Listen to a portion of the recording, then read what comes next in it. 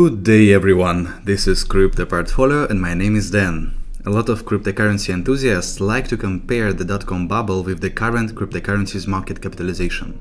But some do it in a negative context, people like me.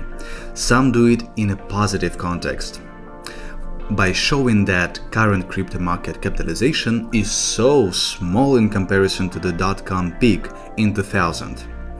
Today I would like to show you why it is naive, overly simplistic and preposterous to compare capitalizations of dot-com companies with cryptocurrencies. Thanks to Kojin Sama for raising the question. I called this slide willfully blind because I think that a lot of crypto experts actually see the flaw in their comparison but still do it for the sake of attracting more investments into cryptocurrencies. Well, I value truth more, so I will show you why comparing capitalizations of markets mentioned above is wrong. First of all, let's see what image has become very widespread lately. Here is the capitalization of all Nasdaq companies during the dot-com bubble peak in 2000. It is 6.7 trillion dollars. Here's the capitalization of all cryptocurrencies as of 7th of September 2017. It is 162 billion dollars. Attractive image, isn't it?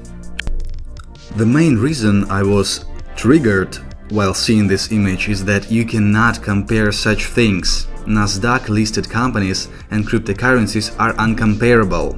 How? Listed companies have cash flows, profits, costs, margins, balance sheets, net income statements, audits, and so on. Cryptocurrencies do not possess those features. Also, listed companies pay out dividends, while cryptocurrencies are unable to do this legally. At least now. The crypto projects, which are centered around paying out dividends, are illegal. You need to register your tokens as securities if you want to sell those tokens to other people. For example, a lot of casinos which collect money on ICOs and pay out dividends are illegal. Even buying tokens can be dangerous for investors, especially if you are a citizen of US of A. In reality, this $6.7 trillion dot-com bubble is not accounted for inflation. More than 17 years have passed. Now it is $9.65 trillion in term in 2017 terms. Cryptocurrencies should be compared to other financial instruments, for example gold, currencies, and securities without dividends. We already understood that comparing capitalizations of real-world companies and cryptocurrencies is wrong. Now what? Let's find out what aspects of dot-com bubble are actually comparable.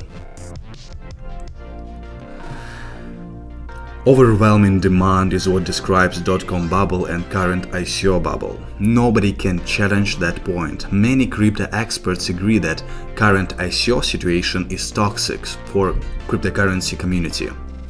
Even the shittiest of securities get funding from the investors.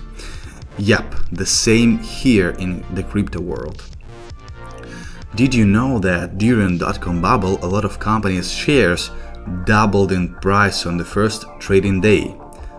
Sounds familiar, right? uh, such price increase is fueled by investor greed. Greed is another aspect of both bubbles. What other aspects of dot-com bubble can be compared? Average first day returns is another aspect which describes dot-com bubble and current ICO bubble. From the graph you can see that during 1999 to 2000 the average first day returns were abnormal. During dot-com bubble, from 4 to 6 trillion dollars of shareholders' value evaporated. This is just an interesting fact which is also applicable to crypto. Cryptocurrency market is also affected by the same economic forces which brought down dot-com. Only the best cryptocurrencies will with the most active communities will survive after the bubble burst.